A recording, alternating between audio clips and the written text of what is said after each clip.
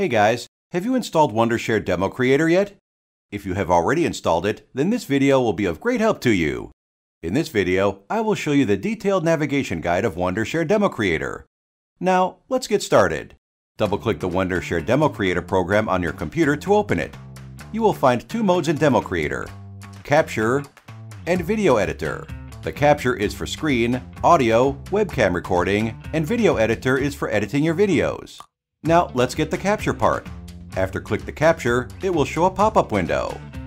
You can resize the capture size, select the target window, and click the red dot to start your recording. However, if you have some preference setting requirements, you can click the settings icon in the top right corner. In this setup window, you can customize your recording settings. For example, you can choose your recording region and your frame rate. You can also set up hotkeys through this window. Next, let's get it in detail.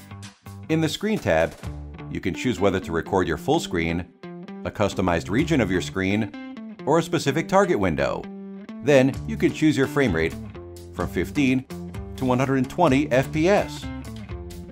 What's more, if you want to record a game screen, you can enable the Game Recorder and choose a game that you want to record.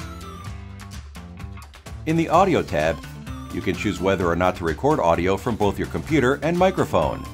Both will record by default, but you can change that by selecting Don't Capture next to either. Now let's check the Camera tab. You can record from a webcam in addition to recording your screen.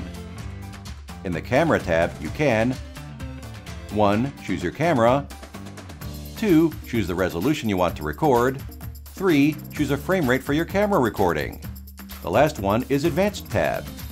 In the Advanced tab, you can 1. Choose where to save your files to 2. Choose whether or not to hide your controls while recording 4. Choose different encoder, AVC or Fast JPG 5. Set up hotkeys.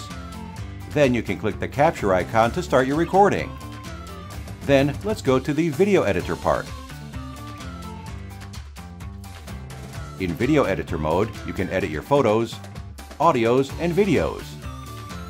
The left side is Media Library.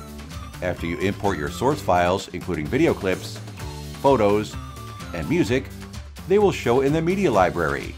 You can add captions, annotations, stickers, transitions, montage, and customize your cursor effects. The middle side is Preview Window. The preview window shows how you play the video in the timeline. The right is Properties window. Here you can adjust the parameters of your video including transform, composition, border, speed, and audio. At the bottom of the window is Timeline. The timeline is where you assemble the media files, video clips, photos, etc., and effects for your video project. Or you can crop, split, or rotate your clips. Once you've finished your editing work, you can click the Export button to save your recording or share it at Video Platform. For example, a target will pop up after you log in. You can choose Save Directly or Share on YouTube or Vimeo. This is all the interface overview for Wondershare DemoCreator. If you found the tutorial helpful, don't forget to like the video and subscribe to our channel.